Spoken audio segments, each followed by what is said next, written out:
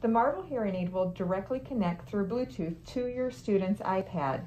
This means they won't need to use a patch cord or have the microphone on their desk when working on their iPad. To set that up, you're going to go to the Settings app on your iPad, open up Settings, and once you get to Settings, find Bluetooth, select Bluetooth, and then turn your Bluetooth on.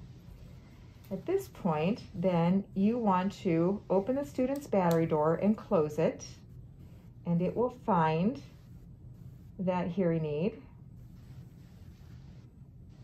We found that one. Now let's turn our left one on and let it look for the left hearing aid. Now we've found both hearing aids, so I'm going to select the left hearing aid. It's connected.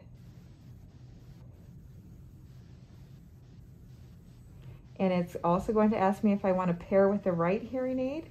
And now both hearing aids are connected. If this student is not dedicated to this iPad and it's used by other learners, the next time that they come back to use it, it may not stream automatically. You may need to go back into the settings, back into Bluetooth. These hearing aids will be listed again, but you may just need to hit that connect to actually let it recognize that device again. And now the student can do their lesson without any other devices. It will just stream automatically to them. If that does not work for you, please contact your educational audiologist with 917. Thanks.